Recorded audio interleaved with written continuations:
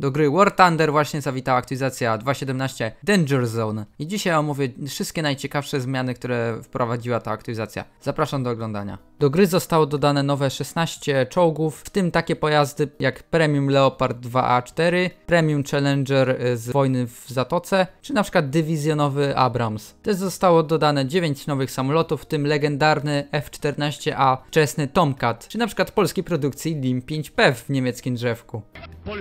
A też Włosi dostali premium samolot Ariadne, jakby nie mogli mieć lepszych nazw na samoloty i czołgi. Zostało dodane nowe drzewko helikopterowe dla Izraela z całkowicie nowym helikopterem MD-500 TOW, inaczej zwanym jako Little Bird. I też został dodany zalążek drzewka chińskiego dla helikopterów z, z helikopterem premium Z 19E do zakupienia w sklepie gry online. No i też zostały dodane statki w sztuk 8, w tym legendarny HMS Hood i niemiecki SMS Bayern. Do gry zostały dodane dwie całkowicie nowe mapy. Czołgowa mapa Opuszczone miasta inspirowane Kaukazem w latach 90. i lotnicza mapa Miasto Południowo-Wschodnie inspirowane współczesnym Hongkongiem. W końcu w Thunder możesz poczuć woń napalmu o poranku, dzięki dodaniu go jako podwieszki pod samolotu. Sam sobie napal nie zadaje dużo obrażeń i głównie jest do atakowania celów yy, mało opancerzonych na dużym obszarze. Samoloty TBF-1C i Avenger 2 dostały nowy model. Wszystkie samoloty I-15 BIS dostały nowy model. Samolot Jaguar dostał szczegółowy kokpit. Przeprojektowano włoskie lautiery na czołgach i dodano nowy rezerwowy czołg premium. Breda 501 w końcu ma schowane klapy, dzięki czemu może obracać działem w większym stopniu. Czołg OF-40 MTCA wrócił do zakupu za Golda i został przeniesiony na BR-87. Izraelskie czołgi w końcu są dostępne dla każdego, może każdy je już badać. A przy okazji to drzewko dostało dwa nowe pojazdy premium i dwa nowe pojazdy drzewkowe. Przy okazji dodano nową mechanikę. Jeżeli nowy pojazd dodany w tej aktualizacji blokuje ci postęp w drzewku i wymusza badanie kolejnego pojazdu, możesz tą maszynkę ominąć przez jakiś tydzień od wydania aktualizacji.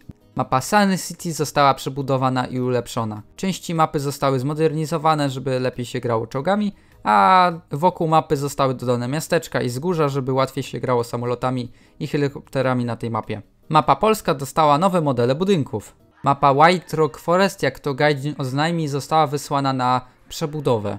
Przyszłej aktualizacji oczekujemy nowej wersji tej mapy, ale póki co zostanie ona wyłączona z matchmakingu. Gaijin oznajmił, że dodał nowe dźwięki silników dla każdego pojazdu w grze, w środku i na zewnątrz.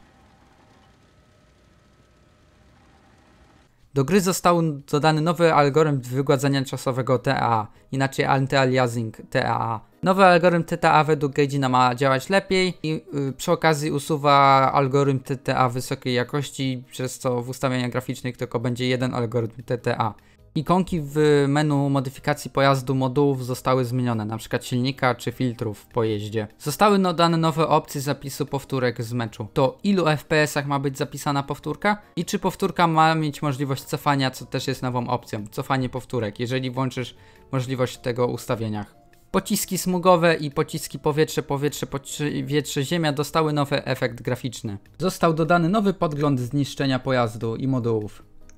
I na koniec typowe zmiany w drzewkach badań. Pojazd Puma i tam zostały zamienione miejscami. Pojazd Szyłka ZSU-23 4 i ZSU 37.2 zostały zamienione miejscami. Xiong Hong T34 i M42 chiński zostały zamienione miejscami. J1N1 i Ki45TI zostały zamienione miejscami. Zgrupowanie samolotów y, w drzewku G50 seria 2 i 7 zostały przeniesione przed grupę z samolotami CR-42. Zgrupowanie samolotów w drzewku C-200 seria 3 i 7 zostały przesunięte na drugą erę. Samolot Sagittario 2 został przesunięty na szóstą erę i przed samolot G-91-YS. Samolot F222.2 został przesunięty na pozycję za samolot Martin 167A3. Samoloty NC2233 i MB 174A3 zostały zmienione miejscami.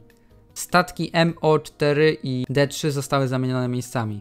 Mam nadzieję, że przegląd ciekawszych zmian z aktualizacji Danger Zone Wam się podoba. Zostawicie lajka, subika, napiszecie komentarz, co ciekawego według Was zostało zmienione, a nie widzieliście o tym. Tutaj macie moich wspierających i co? Życzę mojego grania w nowej aktualizacji w The War Thunder.